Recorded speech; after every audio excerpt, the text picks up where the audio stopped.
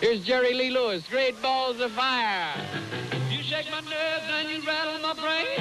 In 1957, a television program called American Bandstand went national on the ABC network.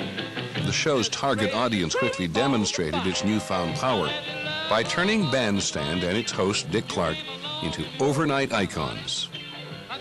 Every kid watched.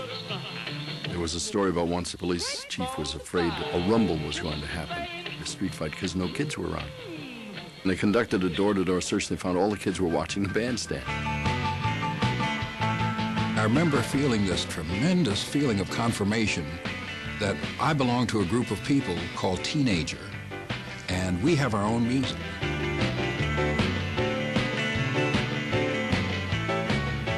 All of a sudden, you know, I just, I felt that I could, I could express myself. I could be free. I could dance and I could shake around and I could have fun.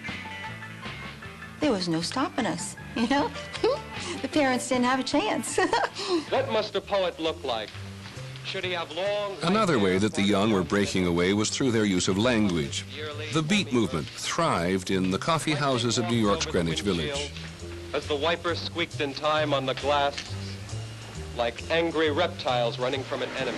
The village has a life and language all its own. If you dig it, you're hip. If you don't, man, you're square. Beatniks were the forefathers of the 1960s counterculture, challenging the conformity of the 50s by ridiculing mainstream values. My mom wanted a new kitchen. She wanted new appliances.